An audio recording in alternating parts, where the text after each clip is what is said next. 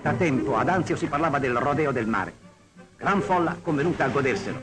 Saggi vari e gare di nuoto dai 6 ai 30 anni in poi, secondo categorie distinte con nomi di pesci. Questi sono i macarelli, cioè ragazzi dai 12 ai 16 anni che si impegnano con commovente dispendio di energie.